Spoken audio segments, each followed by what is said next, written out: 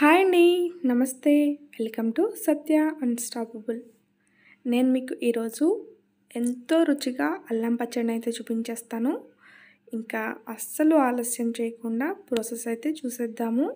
అయితే అల్లం పచ్చడి మాత్రం చూస్తుంటే మంచి కలర్ఫుల్గా ఉంది కదా. అంతే టేస్టీగా కూడా ఉంటుంది. అయితే అల్లం పచ్చడి చిన్న చిన్న మార్పులతో టేస్టీగా ఉండేలా ఏ విధంగా చేశాను అనేది నేను మీకు ఈ వీడియోలో అయితే చూపించబోతున్నాను. ప్రాసెస్ చూసేద్దాము. ముందుగా అల్లం. అల్లాన్ని నేను పావు కిలో తీసుకున్నాను. పావు కిలో అల్లాన్ని ఈ విధంగా చిన్న ముక్కల కింద కట్ చేసుకుని ఒక కప్పులో అయితే వేసుకున్నాను. నాకు ఈ విధంగా కప్పులో మనము పావు కిలో అరకిలో అని ఆ విధంగా కొలతలు చూసుకోవచ్చు. లేదంటే ఇలా ఒక గిన్నెను తీసుకుని ఆ గిన్నెతో కూడా కొలతను తీసుకోవచ్చు. ఇప్పుడు స్టవ్ వెలిగించుకొని ఒక ప్యాన్ పెట్టుకుని ఆయిల్ వేసుకుందాము. ఆయిల్ అనేది వేడైన తర్వాత ముందుగా కట్ చేసుకున్న అల్లం ముక్కలు అనేది వేసుకుని వేయించుకుందాము. మరీ ఎర్రగా మాడిపోయినట్టు వేయించుకోనవసరం లేదు. మనకి ఈ విధంగా పచ్చళ్ళకి వేరుశనగ నూనె అయితే బాగుంటుందన్నమాట. వేరుశనగ నూనె కానీ నువ్వుల నూనె కానీ వాడుకుంటే మనకి పచ్చడి అనేది రుచిగా ఉంటుంది. అలానే ఎక్కువ కాలం కూడా నిల్వ ఉంటుందన్నమాట. అల్లం అయితే వేగిపోయింది తీసేస్తున్నాను. అలానే నాకు పావు కిలో అల్లం తీసుకున్నాను కాబట్టి ఒక పావు కేజీ చింతపండు. చింతపండు అనేది మనకి ఇంట్లో ఉంటే కరెక్ట్గా కొలత తెలియదు కాబట్టి నేను అల్లం ముక్కలు ఒక కప్పులోకి తీసుకున్నాను కదా అదే కప్పు నిండుగా చింతపండును కూడా తీసుకున్నాను. ఎలాంటి గింజలు కాడలు లేకుండా ఆ కప్పు నిండుగా చింతపండును తీసుకుని ఈ విధంగా ఒక గ్లాస్ వాటర్ ఒక గిన్నెలో పోసుకొని ఆ వాటర్ అనేది మరుగుతూ ఉన్నప్పుడు ఈ చింతపండును వేసి ఉడికించుకోవాలి. ఈ విధంగా వేడి నీళ్ళల్లో వేయడమే కాకుండా చింతపండు అనేది చింతపండు అనేది ఒక నిమిషం పాటు ఉడకాలి అనమాట ఆ వేడి నీళ్ళలో మరుగుతుండడం వల్ల మనకి పచ్చడి అనేది తొందరగా పాడవదు. ఇందులో ఏమైనా తడి ఉంటే పోతుంది కదా వేడి నీళ్ళతో పాటు ఉడుకుతుంది కాబట్టి ఇప్పుడు ఈ విధంగా మనము ఒక వన్ మినిట్ అయితే ఉడికించుకోవాలి. ఈ చింతపండు అలానే ముందుగా మనం వేయించుకున్న అల్లం రెండు చల్లారిన తర్వాత ఇప్పుడు మిక్సీ జార్ తీసుకొని ముందుగా అల్లం వేసుకుందాము. అల్లం వేసుకుని ఒకసారి గ్రైండ్ చేసుకుందాము కొంచెం మెత్తగా. ఈ విధంగా అల్లం అనేది ముందుగా గ్రైండ్ చేసుకుంటే ఎలాంటి అల్లం ముక్కలు లేకుండా ఉంటాయన్నమాట. కాబట్టి అల్లం అనేది గ్రైండ్ చేసుకున్న తర్వాత ఇప్పుడు చింతపండును వేసుకుందాము.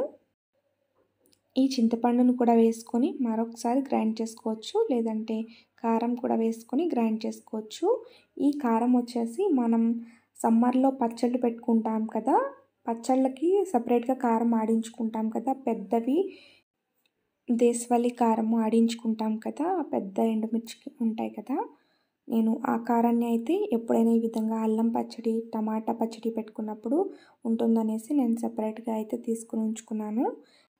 ఈ విధంగా కారం లేని వాళ్ళు మనం పావు కిలో అల్లం తీసుకున్నాం కాబట్టి పావు కేజీ ఎండుమిర్చిని తీసుకోవాలి. ఎండుమిర్చిని ఆయిల్లో వేయించుకొని ఆ తర్వాత మిక్సీలో వేసుకుని గ్రైండ్ చేసుకుని పచ్చడిని అయితే చేసుకోవాలి. ఈ విధంగా నేను కారం అయితే నేను నాకు వన్ కప్పు అల్లం అయింది కాబట్టి కొంచెం తగ్గించి వేసుకుంటున్నాను కారం. ఎందుకంటే కారం అనేది ఎక్కువైపోతుందేమో అనేసి ఇప్పుడు బెల్లం బెల్లం కూడా నేను వన్ కప్ అయితే పూర్తిగా వేస్తున్నాను. ఎందుకంటే చింతపండు కారానికి కరెక్ట్గా సరిపోతుంది బెల్లం. బెల్లం కూడా వేసుకుని ఈ విధంగా గట్టిగా గ్రైండ్ చేసుకోవాలి. మనకి గ్రైండ్ చేసుకునేటప్పుడు నలగకపోతే కనుక మరిగించిన నీళ్ళు చల్లారి పెట్టుకుని కొన్ని వేసుకొని గ్రైండ్ చేసుకోవచ్చు. ఈ విధంగా గ్రైండ్ చేసుకున్న తర్వాత రుచికి సరిపడగా ఉప్పును కూడా వేసుకొని మరొకసారి గ్రైండ్ చేసుకుందాము. మనం ఒక కప్పు కొలతతో తీసుకున్న ఎంత అయితే అల్లం తీసుకున్నామో దాని ప్రకారము అంతే కారము చింతపండు బెల్లం వేసుకొని పచ్చడిని అయితే చేసుకోవాలి. లేదు అంటే ఒక పావు కిలో అల్లం తీసుకున్నామంటే అన్నీ పావు కిలో పావు కిలో తీసుకోవాలి. ఇప్పుడు ముందుగా మనం వేయించుకున్న అల్లం ఉంది ఆయిల్ ఉంది కదా దాంట్లోనే ఇంకాస్త ఆయిల్ని వేసుకుని ఒక పదిహేను నుంచి ఇరవై వెల్లుల్లి రెబ్బల్ని కాస్త చితక్కొట్టి వేసుకుని వేయించుకోవాలి. ఈ వెల్లుల్లి రెబ్బలు అనేది సగం వేగిన తర్వాత ఒక ఐదు నుంచి ఆరు ఎండుమిర్చి అలానే డ్రై రోస్ట్ చేసుకున్న జీలకర్ర ధనియాల పొడి టూ స్పూన్స్ వన్ స్పూన్ ఆవాలు వన్ స్పూన్ జీలకర్ర వన్ స్పూన్ ఇంగువ. మనం కరివేపాకుని అయితే తీసి పడేస్తాం కాబట్టి నేను కరివేపాకు పొడిని అయితే వేస్తున్నాను. వన్ స్పూన్ కరివేపాకు పొడిని కూడా వేసుకుని ఇప్పుడు పచ్చడిని ఈ ఆయిల్లో వేసేసుకుని బాగా కలుపుకుందాము. మనకి ఆయిల్ కూడా పావు కిలో పడుతుంది. ఇంకా బాగా ఎక్కువ ఆయిల్ కావాలి అనుకున్న వాళ్ళు ఇంకాస్త వేసుకోవచ్చు. ఈ విధంగా చేయడం వల్ల పచ్చడి అనేది చాలా రుచిగా ఉంటుందన్నమాట. వన్ స్పూన్ జీలకర్ర వన్ స్పూన్ ధనియాల పొడి వేసాను.